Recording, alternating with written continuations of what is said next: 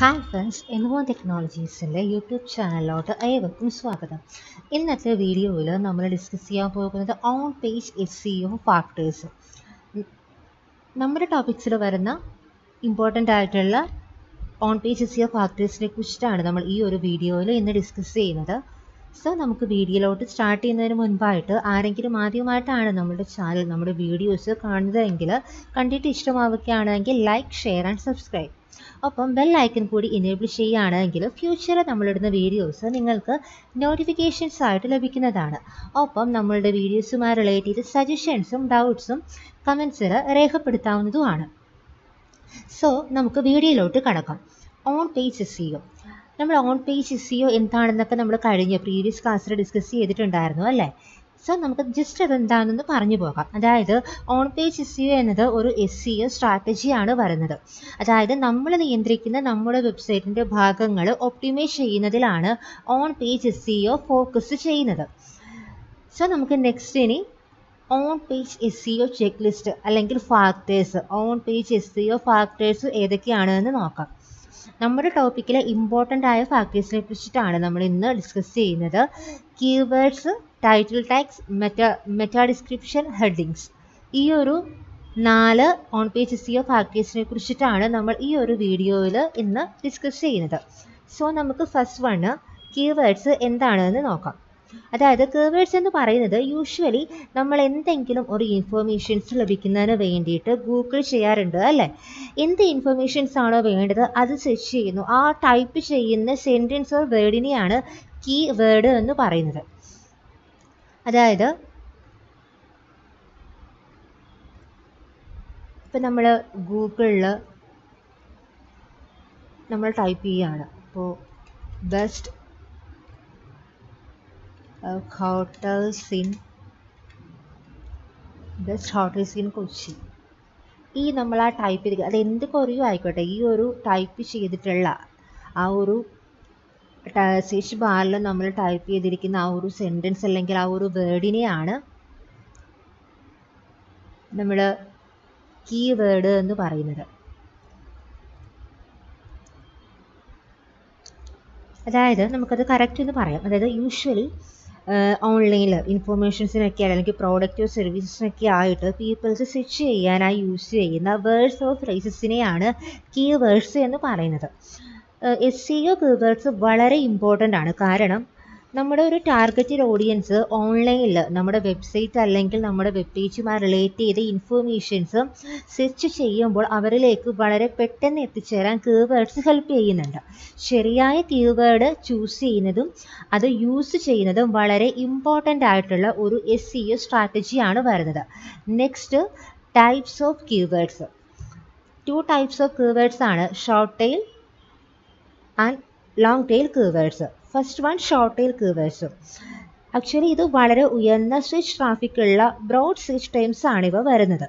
ഇവ ഒന്നോ രണ്ടോ വേർഡ്സ് മാത്രമേ കാണുകയുള്ളൂ. ടിപ്പിക്കലി ഇവ വളരെ competitive S C O keywords ആണ് വരുന്നത്.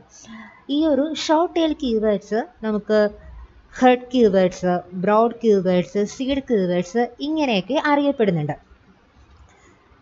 Second type of keyword long tail keyword ആണ് വരുന്നത്. അതായത് ലോങ് ടെയിൽ കീവേഡ്സ് എന്നത് ഒരു സ്പെസിഫിക് ടോപ്പിക് ഓർ ഓഡിയൻസിനെ highly target ചെയ്തവയാണ്.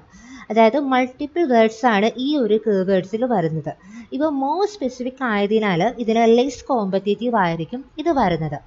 Next Kyiv research process ആണ് വരുന്നത്.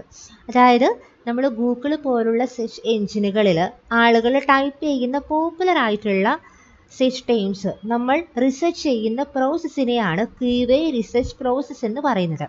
അതുപോലെ തന്നെ സ്ട്രാറ്റജിക്കലി ഇത് നമ്മുടെ കണ്ടന്റിൽ ഇൻക്ലൂഡ് ചെയ്യുകയും ഒപ്പം നമ്മുടെ കണ്ടന്റ് സെർച്ച് എഞ്ചിൻ റിസൾട്ട് പേജിൽ ഹൈ ഹയറിൽ അപ്പിയർ ആകുകയും ചെയ്യുന്നു. കീവ് റിസർച്ച് ചെയ്യുന്നത് സെർച്ച് എൻജിൻ ഒപ്റ്റിമൈസേഷൻ അതായത് എസ് സി ഒയിലെ ഒരു ഫണ്ടമെന്റൽ ആയിട്ടുള്ള പ്രാക്ടീസാണ് വരുന്നത്. Next Google keyword planner two അതായത് നമ്മുടെ സെർച്ച് ക്യാമ്പയിൻസുകൾക്കായി കീവേഡ്സുകൾ സെർച്ച് ചെയ്യാൻ കീവേഡ് പ്ലാനർ ടൂൾ ഹെൽപ്പ് ചെയ്യുന്നുണ്ട്. നമ്മുടെ ഒരു ബിസിനസ്സുമായി റിലേറ്റ് ചെയ്ത കീവേഡ്സുകൾ ഡിസ്കവർ ചെയ്യാനായിട്ട് നമുക്ക് ഈ ഫ്രീ ടൂൾ യൂസ് ചെയ്യാം. ഇതൊരു പവർഫുൾ ആയിട്ടുള്ള എസ് ഒ ടൂളാണ് വരുന്നത്. നമ്മുടെ ഒരു ബിസിനസ്സുമായി റിലേറ്റ് ചെയ്ത കീവേഡ്സുകൾ ഐഡന്റിഫൈ ചെയ്യാൻ ഹെൽപ്പ് ചെയ്യുന്ന ഒരു പെർഫെക്റ്റ് റിസോഴ്സാണ് ഈ ഒരു ഗൂഗിൾ കീവേഡ് പ്ലാനർ ടൂൾ എന്നത്. ഇത് നമ്മളെ ഒപ്പം റാങ്കിങ്ങിൽ റാങ്കിങ്ങിലോട്ട് എത്താനായിട്ടും ഇത് വളരെയധികം ഹെൽപ്പ് ചെയ്യുന്നുണ്ട്. Next on page S O factor എന്ന് പറയുന്നത് ടൈറ്റിൽ ടാഗ്സ് ആണ്. അതായത് ടൈറ്റിൽ ടാഗ് എന്നത് ഓരോ വെബ് പേജിന്റെയും ഹെഡ് സെക്ഷനിൽ എക്സിസ്റ്റ് ചെയ്യുന്ന എച്ച് ടി എം എൽ ടാഗാണ് ഒപ്പം ആ ഒരു റെസ്പെക്റ്റീവ് പേജിലെ ടോപ്പിക്കൽ സബ്ജക്റ്റ് മാറ്റർ എന്താണ് എന്ന് അറിയുന്നതിന് ഒരു initial cue or context provide ചെയ്യുന്നുണ്ട്. സെർച്ച് എഞ്ചിൻ റിസൾട്ട് പേജുകളിലും അതുപോലെ ബ്രൗസർ വിൻഡോയിലുമാണ് ബ്രൗസർ വിൻഡോസിലും ഇത് വളരെ ഇമ്പോർട്ടന്റ് ആണ്. നെക്സ്റ്റ് വൺ എന്ന് പറയുന്നത് മെറ്റാ ഡിസ്ക്രിപ്ഷൻ ആണ്.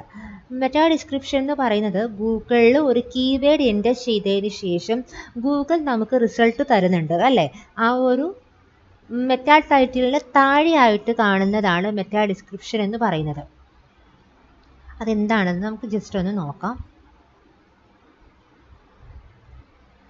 ഇപ്പം നമ്മൾ ബെസ്റ്റ് ഹോട്ടൽസ് ഇൻ കൊച്ചി എന്ന് നമ്മൾ ഗൂഗിളിൽ കീവേഡ് നമ്മൾ എന്റർ ചെയ്തു. സോ നമുക്ക് ഗൂഗിൾ റിസൾട്ട് തന്നു. അപ്പോൾ ഈ റിസൾട്ട് തന്നതിലെല്ലാം നമുക്ക് നോക്കുകയാണെങ്കിൽ ഈ ഒരു five star hotels in Kochi ഈ ഒരു കൊടുത്തിരിക്കുന്നതാണ് മെറ്റ ടൈറ്റിൽ എന്ന് പറയുന്നത്. അതായത് മെറ്റ ടൈറ്റിൽ എന്ന് പറയുന്നതും എന്താണ് എന്ന് ഞാൻ പറയാം.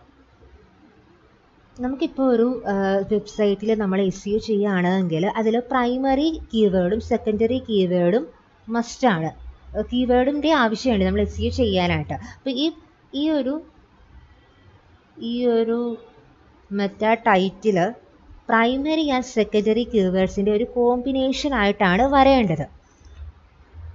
ഒപ്പം പ്രൈമറി സെക്കൻഡറി കീവേഡ്സിന്റെ കോമ്പിനേഷൻ ആയിരിക്കണം മെറ്റാ ടൈറ്റിൽ എന്നത്. അതായത് ഈ ഒരു മെറ്റാ ടൈറ്റിലിന്റെ ക്യാരക്ടേഴ്സ് ഒരു fifty five to sixty characters ആയിരിക്കണം വരേണ്ടത്. ഒപ്പം ഈ ഒരു മെറ്റാ ടൈറ്റിലിന് താഴെയായിട്ട് കാണുന്നത് അതായത് മെറ്റാ ടൈറ്റിലിനെ മെറ്റാ ടൈറ്റിലിനെ കുറിച്ച് കൂടി ഇൻഫോർമേറ്റീവായി കൊടുത്തിരിക്കുന്നതാണ് മെറ്റാ ഡിസ്ക്രിപ്ഷൻ ഫോർ എക്സാമ്പിളും ഇത് ഇത് മെറ്റാ ടൈറ്റിലാണ് ഈ താഴത്ത് ഇതൊരു മെറ്റാ ടൈറ്റിലിനെ കുറച്ചും കൂടി ഡിസ്ക്രൈബ് ചെയ്തിരിക്കുന്ന ഇൻഫോർമേറ്റീവായി ഡിസ്ക്രൈബ് ചെയ്തിരിക്കുന്നതാണ് മെറ്റാ ഡിസ്ക്രിപ്ഷൻ എന്ന് പറയുന്നത്.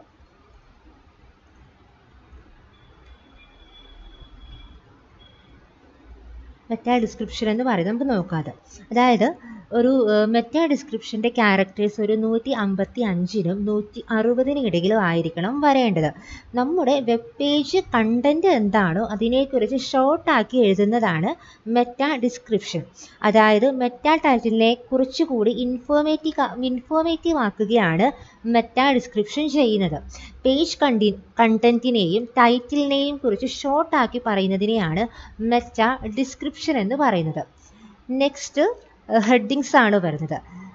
നമ്മുടെ ടോപ്പിക്കിലെ fourth on page S C O ഫാക്ടറാണ് ഹെഡിങ്സ് വരുന്നത്. അതായത് നമ്മുടെ വെബ് പേജ് കണ്ടന്റ് സെർച്ചിൽ ടോപ്പ് എത്താനായി ആദ്യം തന്നെ നമ്മൾ സ്റ്റാർട്ട് ചെയ്യേണ്ടത് ശ്രദ്ധേയമായിട്ടുള്ള ഹെഡിങ്സ് എഴുതുക എന്നതാണ്. ഹെഡിങ്സ് എപ്പോഴും സെർച്ച് എഞ്ചിൻ റിസൾട്ട് പേജുകളിൽ ഒരു സ്പാർക്ക് ക്രിയേറ്റ് ചെയ്യുന്നുണ്ട്. അതായത് ഒരു വെബ്സൈറ്റിന്റെ കണ്ടന്റ് എന്താണ് എന്നും സ്ട്രക്ചർ എന്താണ് എന്നും ഒരു ഹെഡിങ് ടാഗ് സെർച്ച് എഞ്ചിന് ഷോ ചെയ്യിപ്പിക്കും.